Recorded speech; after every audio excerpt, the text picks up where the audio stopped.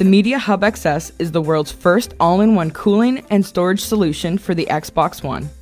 When ready, place the appropriate hard drive fittings.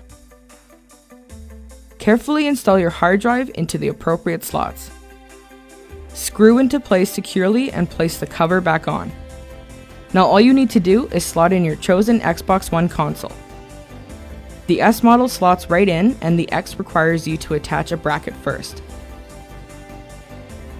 And then attach in the same way. Finally plug in your power cable to the hub and USB data cable to your console. Now you're ready to go. Optionally, the cooling system can be switched on or off when needed. Now you can take advantage of everything the Media Hub XS has to offer. No risk of damage or voiding your warranty. Just huge amounts of storage with built in cooling and USB 3.0 support.